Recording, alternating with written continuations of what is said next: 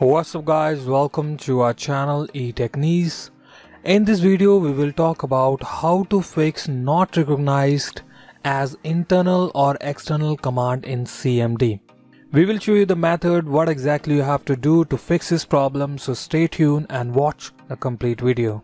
Before going further do not forget to click on subscribe button select all to the bell notification give a thumbs up if you like this video and leave your feedback in the comment section. Method 1 Open file location. I read lot of article on this topic and I was not getting one thing very clearly that how any person who is trying to execute a command on CMD why that person is not able to find file location. So I thought that this might help you to find a file location. You simply have to do a right click and click on open file location and you'll able to find the file location however i'm pretty sure a lot of you are technical person who know about a lot of things. So that's why we have added another method which you can use.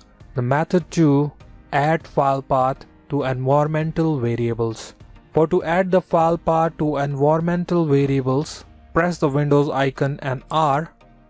As you all know the command sysdm .cpl. You will see system property in here.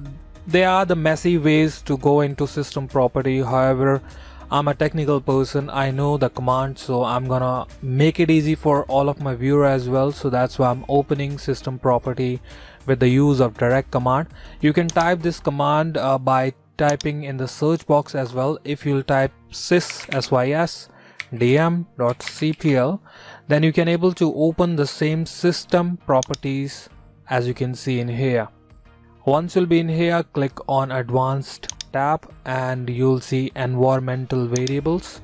Click on it click on edit you'll see this edit user variables. Click on browse file and select the application which you want to add in here. It depends on a lot of different thing. You can select that options and all that thing. So simply add it and uh, by adding that file in here you you'll be able to execute that file in CMD click on edit and browse the file and add it to this place.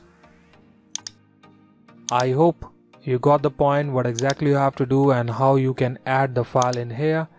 If not you can let me know in the comment section. I will definitely answer your question. That's all for today. Thanks for watching. Meet you in the next video